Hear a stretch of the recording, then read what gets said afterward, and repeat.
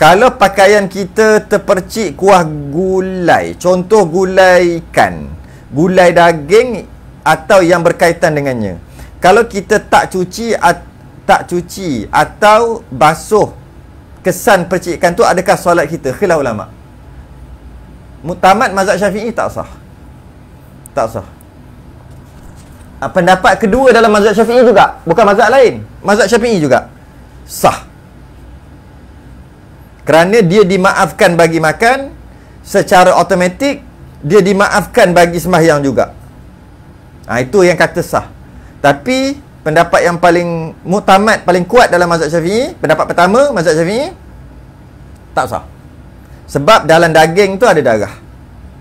Bila ada darah hanya dimaafkan untuk makan saja. Bila kena baju untuk sembahyang tak maaf kalau makan, maaf, darah tadi tu yang ada dalam daging yang ketika masak dia akan keluar tadi tu. Uh, jadi dua pendapat kat sini. Yang pertama itu yang kuat iaitu batal mazhab Syafi'i. Yang kedua mazhab Syafi'i juga kata tak batal kerana dia sikit, dia terlalu sedikit. Bila ia terlalu sedikit maka uh, terlalu sedikit tu maksud kalau pericik tu sikit. Uh, maka dimaafkan juga kalau pericik sikit. Ada yang kata mazhab Syafi'i juga percik banyak pun tetap maaf juga. Percik banyak pun tetap maaf juga. Ha, jadi ada khilaf kat situ. Yang terbaik kita basuh. Macam mana pun kalau tak basuh boleh juga. Sebab pendapat yang kedua. Dalam mazhab Syafi'i pula tu tak payah keluar mazhab lain.